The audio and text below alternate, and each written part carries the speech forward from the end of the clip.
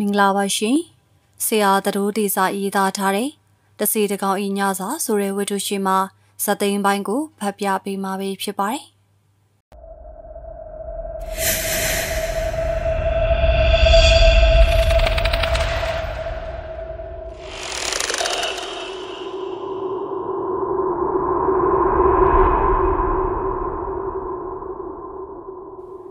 ကျမရင်ပတ်ထဲသို့ဓာချွန်ချွန်တစ်ချောင်းဖြင့် ထိုဆိုင်ဆောင်သွင်းခံလိုက်ရသလိုဖြစ်သွားသည်အေးဆက်သောကြောက်ရွံ့မှုကတကိုယ်လုံးကိုတိမ်တိမ်တုံခါသွားစေ၏ကိုလက်ဘယ်ကိုရောက်သွားပြီလဲကိုလက်အဖို့အကြောက်လွန်ပြီးကျမကိုပင်အတိမပေးနိုင်မဲထွက်ပြေးသွားတယ်ဆိုတာဖြစ်နိုင်ရဲ့လားသူသူတခုခုများဆူဆူရွားရွားဖြစ်ကျမဆက်မတွေးဝင်တော့ကိုလက်ကိုလက်ကျမအတန်အိုးအိုးဖြင့်ခေါ်မိသည်ထိုစဉ်အိမ်နောက်ဘက်စီမှ တစုံတရာလှုပ်ရှားသွားသောအရေးတံကိုမြင်လိုက်ရ၏ဘယ်သူလဲကိုလက်လားရှ်ထူထူငါဒီမှာဘွားကနေထွက်ပေါ်လာတော့ကိုလက်ကိုတွေးလိုက်ရသောကြောင့်ကျမရင်ထဲမှာအလုံးကြီးကျသွားပြီဟူးတေတော့မှာပဲဘယ်တွေလျှောက်သွားနေရလဲအိမ်နောက်ဘေးမှာလှေကားမရှိတော့လို့သွားရှာတာဟာ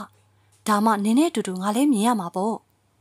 လာကိုလက်ဒီဘောကနေတက်ကြည့်မြန်မြန်လို့အချိန်မရှိဘူးကိုလက်ကကျမမျက်နှာကို ဇဝေဇဝါဖြင့်ကြည့်ရင်နင်ငါ့ကိုနောက်နေတာတော့မဟုတ်ပါဘူးနော်သူတကယ်ပဲနာနာဘဝကြီးဖြစ်သွားပြီလားကျမကစိတ်မရှိနိုင်တော့ပဲအော်အရေးတဲ့စကယ်ကျိုးကလည်းရှင်းနေသေးတယ်လာကြည့်ဟောရီပရင်ပေါက်မှာဟာကျမနှုံမှာဟာကနေအတန်ထွက်သွားပြီးဝိညာဉ်လွင့်သွားသလိုခံစားလိုက်ရ၏ပရင်ပေါက်စီသူကျမပြန်လှည့်လိုက်သည့်အချိန်တွင်မိစာကောင်းကြီး၏မျက်လုံးအစုံကကျမကိုစိုက်ကြည့်နေလေပြီနေရဲလှုပ်ရမ်းနေသောရှာတွဲလောင်းကြီးက ကျမ၏လေပင်ကိုလှန်၍ရစ်ပတ်လိုက်တော်မူအလားဒီတခါတော့သူကျမကိုမြင်သွားသည်မှာတိတ်ကိုတေချာသွားခဲ့လေပြီကိုလက်ကျမကိုကေပါဦးအော်အော်ပြောပြောဖြင့်ပန်းအိုးပေါ်မှကျမခုံချလိုက်သည်ကိုလက်ကမရှိတော့ကျမခြေတော်နှင့်မြေကြီးထီသည့်အချိန်တွင် ကိုလက်ကရှေ့မှတုတ်ချေတွင်၍ပြေးနေလေပြီတစ်ချက်များပင်လှည့်ကြည့်ပေါ်မရကျမကပြေးထွက်ရန်ခြေလန်းပြင်လိုက်သည်ညာဘက်ခြေချင်းဝက်စီမှစစ်ကနေနာသွား၏ပန်အိုးပေါ်မှာခုံချလိုက်စင်ကခြေတော်မြက်သွားဟန်တူသည်ကေကြပါဦးကေကြပါဦးစိတ်ထဲမှာအော်ဟီရင်အာတင်ပြီးပြည်သည်တလန်နှစ်လန်သုံးလန်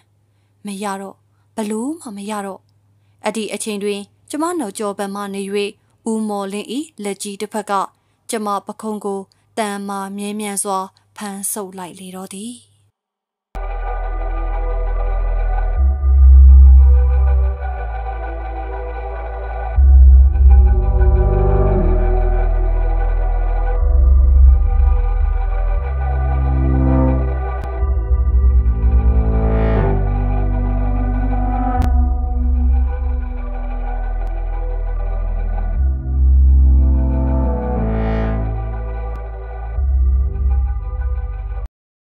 ကျမအတန်ကုန်အော်ဟစ်လိုက်၏သို့သောကြောက်လန့်လွန်နေသောကြောင့်လေချောင်းကဘာအတန်းမှထွက်မလာသူလက်ကြီးများကကျမပခုံးကိုပြုတ်တူလိုမြင်းမြန်စွာဖမ်းဆွဲဆုပ်ကင်ထား၏ကျမကဆောင်ယုံထွက်ကြည့်သည်မရသူလက်ချောင်းများကတန်မာလွန်လာ၏သူကကျမပခုံးကိုဆွဲလှည့်လိုက်ပြီးကြောက်စရာကောင်းသောမျက်နှာကြီးကို မကြည့်ရသောကြောင့်မျက်လုံးကိုစုံမိတ်ထားမိသည်။သမီးမိချမ်းစောနူးညံ့သောခေါ်တန်းကြောင့် ကျမမျက်လုံးဖွင့်ကြည့်လိုက်သည်ဦးမော်လင်းဤမျက်နှာကပကတိလူသားအသွင်အတိုင်းကျမရင်ဘတ်သည်ဟော်ဟဲမိတဲ့နှင့်အတူလေမြန်စွာပိန်လိုက်ဖောင်းလိုက်ဖြစ်နေ၏သူကကျမကိုအံ့ဩသလိုကြည့်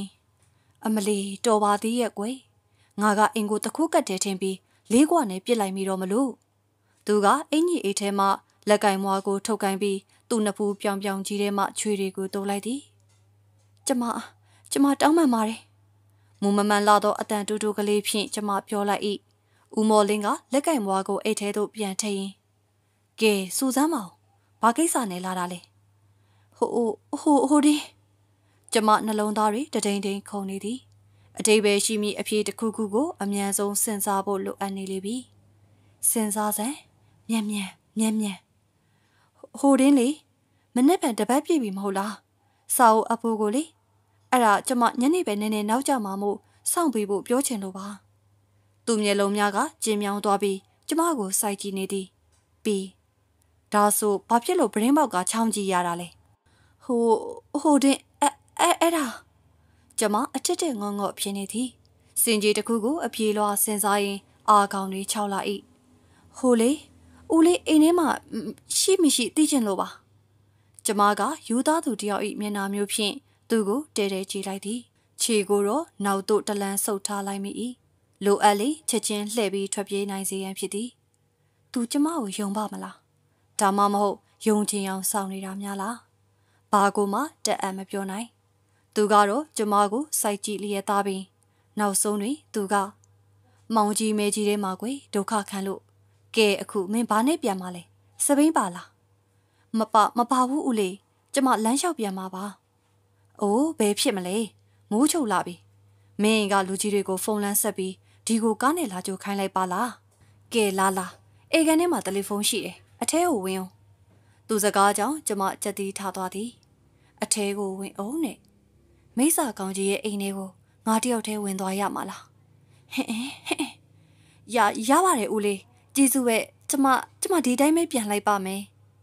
မဟုတ်တာအိမ်ထဲကိုဝင်စမ်းပါလို့ဆိုနေ မင်းကငါကြိုက်မစားပါဘူးကြိုက်မစားပါဘူးဟုပြောလိုက်ခြင်းကပင်လင်းကျမအတွေ့အန်ရဲ့အချက်ပြီးခေါင်းလောင်းဖြစ်၏သူ့အိမ်ထဲသို့ကျမဝင်လိုက်သွားမိလေဘယ်နည်းနဲ့မျှအသက်ရှင်လျက်ပြန်ထွက်လာနိုင်တော့မည်မဟုတ်ပါရရတယ်ဦးလေးကျမသွားတော့မယ်နော် good night ပြောပြောဆူဆူနေသူစကားအပြန်ကိုမဆောင်တော့ပဲခြာကနေလှဲ့ကအပြေးတစ်ပိုင်းထွက်လာခဲ့တော့သည်မိချမ်းစောမိချမ်းစောနောက်ဘက်စီမှာသူ့ခေါ်တန်းကိုကြားရတော့လေ ကျမလှဲ့မကြည့်တော့ဒီလိုလူပြတ်သည့်နေရာမျိုးတွင်ကြာကြာနေ၍မဖြစ်မီးရောင်လင်းနေသောလမ်းမကျဲကြီးပေါ်ရောက်အောင်မယံမနာပြေးခဲ့သည်ကာလန်မပေါ်ခြေချမိချိန်တွင်အမောင်ရိတ်ထဲမှဖြုံကနေတစုံတယောက်ထွက်လာ၏ကျမရင်ထဲမှာတိတ်ကနေဖြစ်သွား၏ချမ်းဟင်ကူလက်အကြောက်ပြေးသွားလေပြေးသွားခြင်းဒေါသကအစာထိုးဝင်ရောက်လာသည်ကူလက်ဒီမှာဘာရက်လုံနေတာလဲငါ ငါနင့်ကိုစောင့်နေတာငါရဲစကန်းကိုတောင်ဖုန်းဆက်ရင်ကောင်းမလားလို့စဉ်းစားသေးတယ်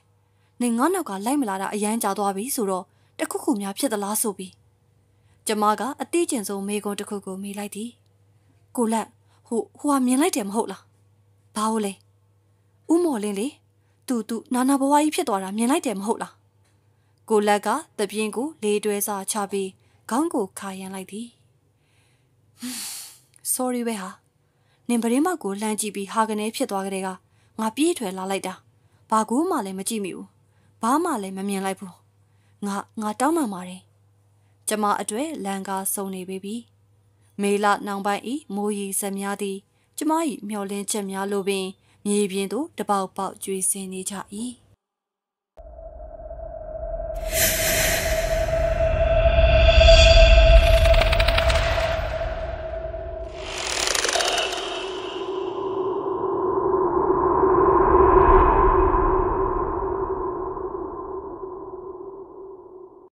မဖြစ်ဘူးမေမေတမီလုံးဝမသွားချင်ဘူးကျမမြင်များပင်ညင်းဆန်တော်လဲမရမေမေကကျမကို စာကြည့်လိုက်သူသာအတင်းလွန်နေ၏ညီအပြင်းကြီးတာနဲ့ပဲငါ့ကိုဘာမှစင်ကြေမပေးနဲ့မင်းချမ်းစောညီဟာငါမွေးထားတဲ့သမီးပါ၏ညီအကြောင်းငါကောင်းကောင်းသိတယ်စာကြည့်လိုက်မှုကဘာကောင်ကြီးညာကောင်ကြီးဇလန်းတွေထွင်ခဲ့တဲ့ကဒီလိုအချိုးချိုးလာတော့မယ်ဆိုတာငါသိပြီးသားညီစာပိုက်ရမှာပြင်းလို့မဟုတ်လားမဟုတ်ဘူးမေမေမဟုတ်ဘူး ကျမမေမေဒီလောက်ခေါင်းမမှန်းမထင်ထားခဲ့မေမေကတော့စွပင်ဆက်ပြောနေသည်တနေ့တနေ့ညီကိုကြည့်နေတာကြပြီဘယ်တော့မှစာဖတ်တယ်လို့ကိုမရှိဘူးမိဘတွေကတက်စီခြင်းလို့စာဖတ်အသင်းဝင်ခိုင်းပြီးကြက်ကြက်မမလှုပ်ပြီးလို့လည်းမရဘူးစာကြည့်လိုက်မသွားချင်တာနဲ့အမျိုးမျိုးမဟုတ်ကဟုတ်ကလှုပ်ကြံပြောနေတော့တာပဲဒီပုံစံမျိုးနဲ့တော့တက်ပါလိမ့်မယ်အင်္ဂလိပ်စာကြီးလာရင်လူမွေးလူရောင်ပြောင်းမှာမဟုတ်ဘူးတော်ပြီမေမေသမီးကိုဒီလောက်ထိပြောနေစရာမလိုပါဘူး မေမေတိတ်သွားစေခြင်းနဲ့ဆိုရင်လည်းသွားပါမယ်ကျမကစာကြည့်စပွဲပေါ်မှစာအုပ်ကိုဆွဲယူပြီးထွက်ခဲ့သည်လူကြီးတွေဟာထီလိုပဲလားသူတို့အယူစာကိုတကယ်တည်းစုပ်ကင်ထားတော့မှလားဟုတ်တော်လဲဟုတ်သည်ဒီတလားအတွင်းကျမစာကိုဟုတ်တီပတ်တိဖတ်ဖြစ်သည့်အချိန်ကနေနေသည်ယခုပြန်အပ်ရမည့်စာအုပ်ဆိုရင်တလုံးမှာပင်မဖတ်ရသည်ဒီစာအုပ်အကြောင်းဦးမော်လင်းကမေးလာလင်ဘလို့ပြောရပါမလဲကျမတပြင်းချလိုက်သည်စာအုပ်အကြောင်းကိုထားအောင်တော့ မနေညာကကိစ္စမျိုးသူနှင့်ပပင်တိုးပြီးသည့်နောက်တွင်ဒီနေ့သူ့မျက်နှာကိုဘယ်လိုကြည့်ရမလဲဆိုသည်ကို ကျမစဉ်းစား၍မရလောလောဆယ်အချိန်အထိတော့သူ့လူရဝဲချက်ကိုကျမတီးသွားပြီလားဆိုတာသူ့အနေဖြင့်တန်တရားဖြစ်သည့်အစဉ်ဖြင့်သာရှိပါစေဟုဆုတောင်းမိသည်စာကြည့်တိုက်ရှိရာလမ်းစီသို့အရောက်တွင်ဖြုံးကနေမိုးရွာချလိုက်သဖြင့်ကျမတကူလုံးဆွရွှဲဆိုသွား၏စာအုပ်ကိုရေမဆူအောင်အင်ဂျီအောက်တွင်ဝှက်ပြီးခတ်သွက်ပြေးလာခဲ့သည် စာကြည့်တိုက်ထဲသို့လန်ကြည့်လိုက်တော့ကျမတော်တော်လေးစိတ်သက်သာရာရသွား၏အဘဲကြောင့်ဆိုသောစာကြည့်တိုက်ထဲတွင် လူစီကားနေစေရှိခြင်းကြောင့်မင်းမင်းညာကသူကျမကိုရိပ်မိသွားခဲ့လင်းလေယခုလိုလူတွေရှိနေခိုက်တွင်ဘာမှလှုံ့ဝင့်လိမ့်မည်မဟုတ်ပါပင်မစာကြည့်ကန်ထဲသို့ဝင်လာရင်တခန့်လုံးကိုမျက်လုံးဝေကြည့်လိုက်သည်ခြားတဲ့ကလေးနှစ်ယောက်နှင့်သူတို့၏မိခင်ဖြစ်ဟန်တူသည့်အမျိုးသမီးနှစ်ဦးနောက်ပြီးအသက်40အရွယ်ခန့်မိန်းမကြီးနှစ်ဦးဦးမော်လင်းကတော့သူ့စာရေးစပွဲတွင် စာအုပ်ပုံကြီးတစ်ပုံနှင့်အလုံးရှုံနေ၏ကျမကသူ့စာရေးစပွဲရှိသွားရက်ပြီးဦးလေးဟုခေါ်လိုက်သောအခါသူကမော်ကြီးကပြုံးပြရင်။အော်သမီးရောက်လာပြီကိုခဏဆောင်အောင်နော်ဦးလေးအလုံးနေနေများနေလို့သူ့အပြုံးကခါတိုင်းလိုပင်နှွေထွေးနေစေဟုတ်မှာဟုတ်ရဲ့လား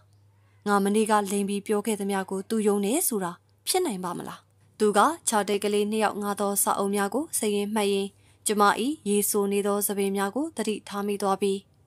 မိုးမိလာတဲ့ထင်နေဟိုဘက်ပတင်းပေါင်နာမှာဦးလေးရဲ့တပတ်တည်းလှမ်းထားတာရှိတယ်။သပင်တွေကိုရေစင်အောင်တုတ်လိုက်အောင်သူကပြောရင်းနဲ့စပွဲပေါ်မှာစာအုပ်တစ်ထပ်ကြီးကိုမာကအတွင်ဘက်မှအခန်းထဲသို့ဝင်သွားသည်သူစာအုပ်များသိမ်းဆည်းနေသည်ကိုစောင့်ရင်ကျမသပင်းတွေကိုခြောက်တွေ့တော့အောင်တပည့်ဖြင့်တုံနေလိုက်၏တော်တော်ကြာသည့်အထိရေကမချောင်နိုင်ပဲဖြစ်နေ၏ရေတုပ်ပြီး၍လှမ်းကြည့်လိုက်သောအခါ အမျိုးသမီးကြီးနှစ်ယောက်လည်းပြန်သွားပြီးကိုတွေ့လိုက်ရ၏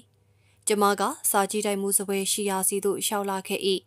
စပွဲတွင်ဥမော်လင်းကိုလည်းမတွေ့ရထိုအခိုက်အတန့်လေးမှပင်အဝင်တကားနောက်စီမှကလစ်နဲ့မြည်တမ်းတဲ့တဲ့ကိုကြားလိုက်ရ၏ရှေးတကမာကြီးကိုတော်ခတ်လိုက်တန်များလားဟုတွေးမိသည်ကျမအတွေ့မဆုံးခင်မှာပင်တကားဘက်စီမှာပင်မစာကြီးခန်းထဲသို့ပြုံပြုံပြုံပြုံနဲ့ပြန်ဝင်လာတော့ဥမော်လင်းကိုတွေ့ရ၏သူက စောင်းရတာတော်တော်ကြာသွားပြီလားကဲအခုတပတ်မင်းဖတ်ခဲ့တဲ့စာအုပ်အကြောင်းလေးဆွေးနွေးရအောင်ကျမကစာအုပ်အကြောင်းကိုစိတ်မဝင်စားနိုင်မဲအမော်တကောဖြင့်နေနေစမ်းမအောင်ဦးလေးခုနအဝင်တကားကိုဦးလေးတော့ပိတ်လိုက်တာလားသူမျက်နာပေါ်ကအဖြုံကပျောက်ခွေမသွားခက်အေးအေးဖြင့်အေးဟုတ်တယ်ကျမကတုံလို့သွားပြီးဘာဘာဖြစ်လို့လဲ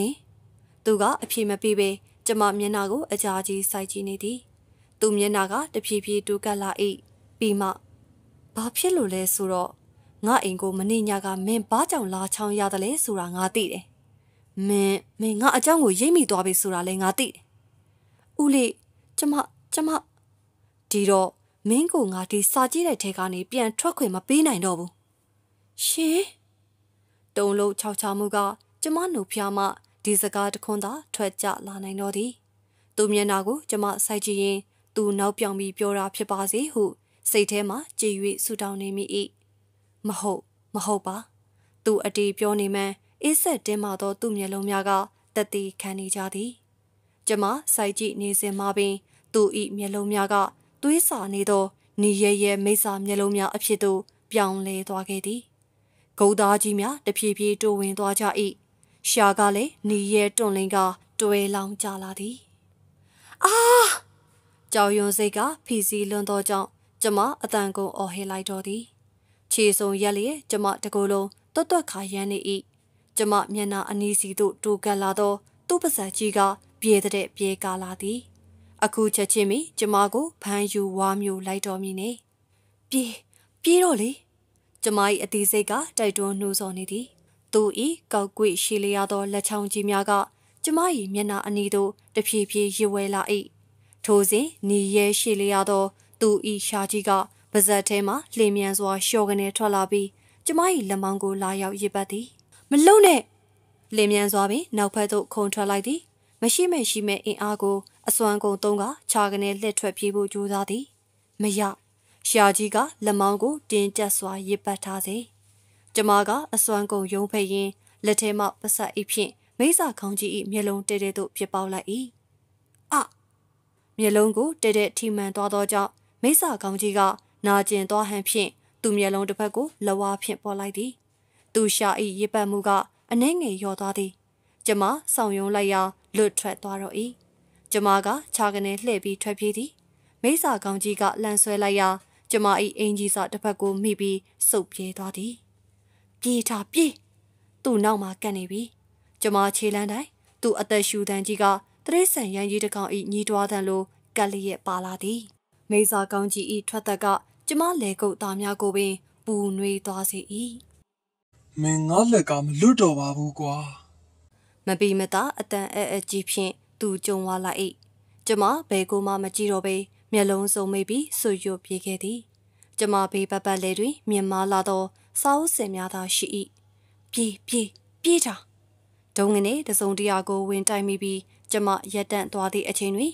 ကျင်းမြောင်းသောစာအုပ်စင်နှစ်ခုကြား၌ကျမပိတ်မိနေလေပြီကျမဝင်တိုက်မိသောအရာကိုငုံကြည့်လိုက်တော့စာအုပ်အညွန်ကပ်ပြားများကိုအခရာအလိုက်ဆင်ထားသည့်စာအုပ်ကတ်လောက်ဗီဒီယိုဘူးကလေးဖြစ်နေ၏ကျမပြေပေါက်ပိန်နေပြီအတန်နဲ့ကြီးဖြင့်အော်ရဲလိုက်တန်ကိုကြားလိုက်ရသောကြောင့်လှည့်ကြည့်လိုက်ရာကျမအနောက်တွင်မာမာကြီးရက်နေသောနာနာဘဝကောင်းကြီးကိုတွေ့လိုက်ရသည်သူအနိုင်ရပြီးမှန်းသိသွားလေပြီ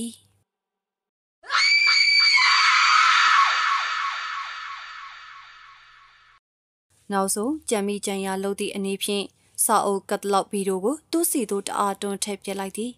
ကြမ်းမြင်ပေါ်ရွေရှားတဲ့နဲ့အတူစာအုပ်ကတ်လောက်ဗီဒီယိုကဝုံငနေပြိုလဲကျသွား၏မလှုပ်နဲ့မိစာကောင်ကြီးစီမှာအတန်နဲ့ကြီးဖြင့်အော်ဟစ်လိုက်တန်ထွက်ပေါ်လာသည်ကျမပင်လေခဏမြကြောင်ပြီးငေးဆိုင်ကြည့်နေမိ၏စာအုပ်ကတ်လောက်ကပြအပိုင်စားများသည်ကျမ်းပြင်ပေါ်တွင်ဖယိုးပြီးရဲ့နေရအနှံ့လွင်စင်ပြန်ကျဲနေ၏မိစာကောင်ကြီးက ဒေါသတကြီးဖြင့်မှန်ပြီးရင်ပြန်ကျဲနေသောကတ်လောက်ပြားများကိုဂမူးရှုတို့လိုက်လံကောက်ယူနေသည်သူပုံစံကလုံးဝယူသွတ်သွားသည်နှင့်ကျမအတွေ့မျောလင်းချက်အလင်းမြင်ကလေးကိုလက်ခနဲမြင်လိုက်ရသည်။ဦးမော်လင်းသည်နာနာဘဝတကောင်ဖြစ်သလိုလူဖြစ်နေသည့်အချိန်မှာတော့စာကြည့်တိုင်းမူတယောက်ပြီးသားသူတူဖြစ်သည်။စာကြည့်တိုင်းမူတို့ထုံးစံအတိုင်းအချိန်ကာလကြာမြင့်စွာသူတို့လက်ဖြင့်တရုတ်တရားဂယုတစိုက်အစီအစဉ်ရေးသားစုဆောင်ခဲ့ရသော အခရာစဉ်အလိုက်စာအုပ်အညွန်ကတ်တလောက်များကိုအသက်တများမျက်နှိုးသည်သာဖြစ်လေသည်။ကြံပြင်ပေါ်တွင်ဗယံပတာပြန့်ကျဲနေသောကတ်တလောက်များစီသို့မိစ္ဆာကောင်ကြီးကအာယုံရောက်နေစဉ်ကျမနေအနီးဆုံးပရင်ပေါက်ကိုတွန်းဖွင့်ပြီးခုံချလိုက်တော့သည်မြေပြင်နေကျမခြေထောက်ထိလိုက်သည်နှင့်တပြိုင်နက်နှစ်ပတ်သုံးပတ်မြလိန်သွားသည်နာကျင်မှုတတိမယလူလဲကထားပြီးဆက်ပြေးသည်ကျမနောက်မှာတက်ချက်မကွာပါလာသောခြေတံတစုံကိုကြားရ၏လှဲမကြည့်နိုင် အသက်ကိုလူ၍ပြေးနေရသည်မိုးတွေကလည်းတဲတဲမဲမဲရွာချလာသည်ကောင်းကင်ရံတွင်လျက်စီးတစ်ချက်ဝင်းကနေလက်သွားသည်လျက်စီးရောင်ဖြင့်ကျမရှေ့မြေပြင်ပေါ်တွင်ရှိသောတင်းငုတ်တို့တစ်ခုကိုမြင်လိုက်ရသည်။ရှောင်းချိန်မရတော့ဝင်တိုင်းမိပြီးဂျွန်းတပတ်လဲကမြေပြင်ပေါ်သို့ကန်ရိုက်ခံလိုက်ရသလိုကြာသွားသည်။ဦးကောင်းထဲတွင် မိုက်ကနေဖြစ်သွား၏။ချမ်းချမ်းနားထဲတွင် ခေါ်တန်လိုလိုတီတူကြရသည်။နောက်မှပြေးလိုက်လာသူက ကျမကိုဆွဲထူပေးနေ၏။ချမ်းနင်ဘာဖြစ်သွားသေးလဲ။ဟင်ကိုလက်ဘလို့ရောက်လာငါငါအစရရာစာကြည့်တဲ့ထဲမှာပုံနေတာငါအကုန်မြင်နေချမ်းဘာရှင်မြင်နေဟုတ်လားဒါဆိုဒါဆိုကိုလက်ကကျမမျက်နှာပေါ်မှာမိုးရိပ်ဖြင့်ပေလူနေသောဖုံများမြေကြီးကဲများကိုတုပ်ပေးလိုက်ရင်အေးပါချမ်းရဲ့အခုပဲနင့်အိမ်ကိုငါလိုက်လာပြီးနင့်အဖေအမေတို့ငါကူပြောပေးမှာပါ မိုးရီတွေရွှဲနေနေသောကျမတို့နှစ်ယောက်ကိုဖေဖေနဲ့မေမေကငိမ်သက်တိတ်ဆိတ်စွာငေးဆိုင်ကြည့်နေသည်အကြောင်းဆုံးကိုကိုလက်ပြောပြီးသည့်အချိန်အထိလေဖေဖေကစကားတခွန်များမဆိုထို့ကြောင့်ကျမကအားမလို့အားမရဖြင့်ဖေဖေလက်မောင်းကိုကင်လှုပ်ရင်းအခုပြောတာတွေကိုဖေဖေမယုံသေးဘူးလားတမီရောကိုလက်ပါနှစ်ယောက်စလုံးတွေ့ခဲ့ရတာဖေဖေရဲ့ဖေဖေကခေါင်းကိုလေးလေးတွဲတွဲငင်းငင်းယုံပါတယ်တမီးရဲ့အခုတော့ဖေဖေယုံပါပြီ ဒါဆိုဒါဆိုတမီးတို့ဘာလို့ကြရင်ကောင်းမလဲဖေဖေကတပြင်းကိုချလိုက်ရင်ဖေဖေတို့ကိုမော်လေးကိုဒီအိမ်မှာညစာစားဖို့ဖိတ်ကြတာပေါ့ဖေဖေစကားကြောင့်ကျမနားမလည်နိုင်အောင်ဖြစ်သွားသည်နဘူးပေါ်စီကြလာသည့်မိုးရေစံများကိုလက်ကုံဖြင့်တုပ်ရင်ဘာဖေဖေဘာပြောလိုက်တာလဲသူ့ကိုတင်ကိုမခေါ်ပါနဲ့မခေါ်ပါနဲ့ဖေဖေတို့မှရွေးချယ်စရာလည်းမရှိတော့ဘူးသမီး ကိုမော်လင်းကိုဒီအိမ်မှာညစာလာစားဖို့ဖိတ်လိုက်ပါကွာ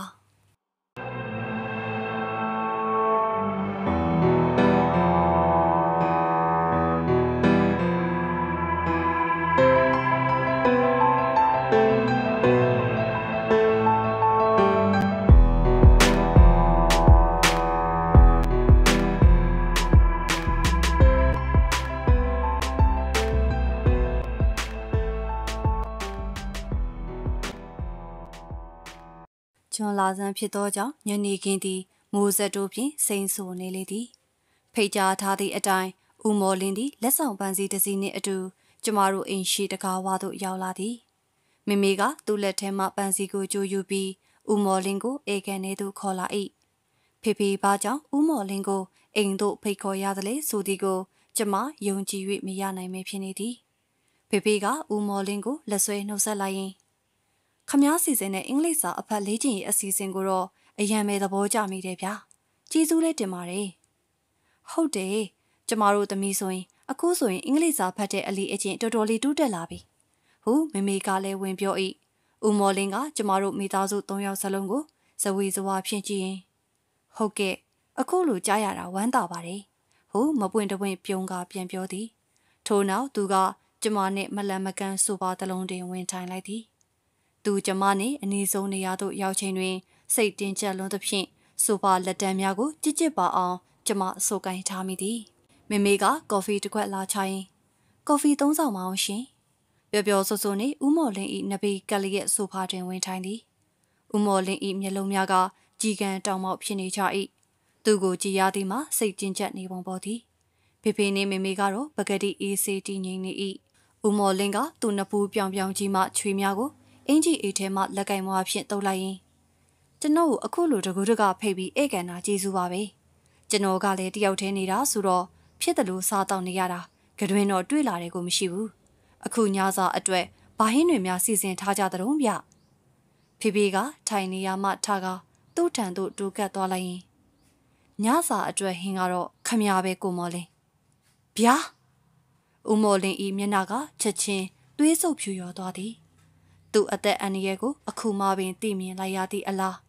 ထိုင်ကုန်မှာကမန်းကဒန်ထပြေးရန်လှုပ်ရှားလိုက်၏သို့သောဖေဖေနှင့်မေမေကသူ့ထက်ပိုပြီးလှည့်မြန်နေလေသည်ဖေဖေ၏လက်သေးများကရုတ်တရက်ရှည်ထွက်သွားကြပြီးသူ့လဲပင်ကိုဖမ်းညှစ်လိုက်သည်မေမေပါဇက်ထဲမှလည်းနေလျက်ရှည်လျာသော ရှာတစ်ချောင်းထွက်လာကဥမော်လင်း၏တကိုယ်လုံးကိုမွေတကောင်လိုရစ်ပတ်ထားလိုက်သည်ဖေဖေကတွေ့အေးစွာဖြင့် သူ၏သားကောင်ကိုတလုံးချင်းရှင်းပြနေသည်နာနာဘဝတွေဟာဘလို့အကြောင်းနဲ့မှတခြားသူကိုကြောက်လန့်အောင်လုပ်ခွင့်မရှိဘူးကိုမော်လင်းခမည်းဟာဒီစီကန်းကိုချိုးဖောက်ခဲ့တယ်ခမည်းကိုခမည်းပြပြရီမနေထိုင်တတ်ခဲ့ဘူးခမည်းကိုဒီအတိုင်းဆက်ပြီးလွှတ်ထားပြီးတနေ့နေ့တစ်ချိန်ချိန်မှာလူတွေရိပ်မိသွားပြီးအထိတ်တလန့်ဖြစ်ကုန်လိမ့်မယ်လူတွေကနာနာဘဝဆိုတာသူတို့ကိုအန္တရာယ်ပေးမဲ့တရဝါ ကြောက်လန့်အောင်လုပ်မဲ့တရဝါလို့ထင်ပြီးမုံတီးယွန်ရှာကြလိမ့်မယ်ကျုပ်ဒီလိုဖြစ်ခွင့်မပေးနိုင်ဘူးကျုပ်တို့ကလူသားတွေနဲ့ငင်းငင်းချမ်းချမ်းပဲအတူရောနှောနေထိုင်ချင်တာပါကျုပ်တို့ရှိနေတာကြောင့်လူသားတွေအထက်တလန်ဖြစ်နေရမှာကိုမလိုလားဘူးကျုပ်တို့ဟာအတိတ်ကကုသိုလ်ကံမကောင်းခဲ့လို့နာနာဘာဝဖြစ်နေရပေမဲ့မကောင်းဆိုးဝါတော့မဟုတ်ဘူးလူတွေရဲ့စိတ်ကိုကြောက်လန့်ပျက်စီးအောင်လုပ်တဲ့တတဝါတွေကသာမကောင်းဆိုးဝါပါဗျာ ခမရဟာမကောင်းဆိုးဝါပဲကိုမော်လေးဟောဒီကဘာမြေပေါ်မှာမကောင်းဆိုးဝါကိုဘယ်နည်းနဲ့မှရက်တီခွင့်မပေးနိုင်ဘူးကဲဒီတော့မလုတ်မလုတ်ပါနဲ့ဗျာတောင်းပန်ပါတယ်ဦးမော်လင်းဤမျက်လုံးကပြူးထွက်လာခဲ့သည်သူဘဝဤနောက်ဆုံးအချိန်ကလေးမှာပင်ရလိုရညာစူးစားပြီးတောင်းပန်နေရှာ၏နာနာဘဝတိုင်းဟာခမည်းလိုမကောင်းဆိုးဝါးတွေမဟုတ်ကြပါဘူးသူတို့ဟာလူသားတွေနဲ့တင့်မြတ်ချင်ကြတဲ့သူတွေပါ ထိုစကားကို သူနောက်ဆုံးကြားမှကြားသွားရရဲ့လားမသိ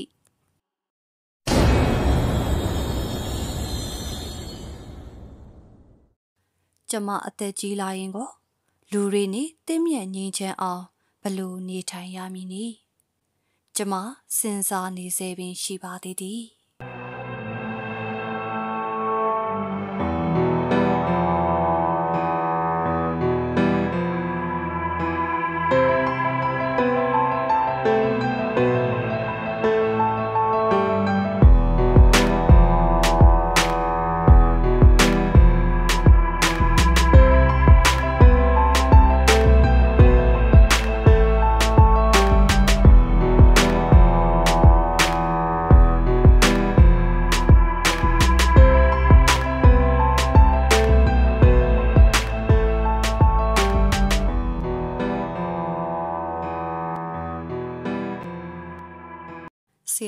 တို့ဒေစာရေးသားထားတဲ့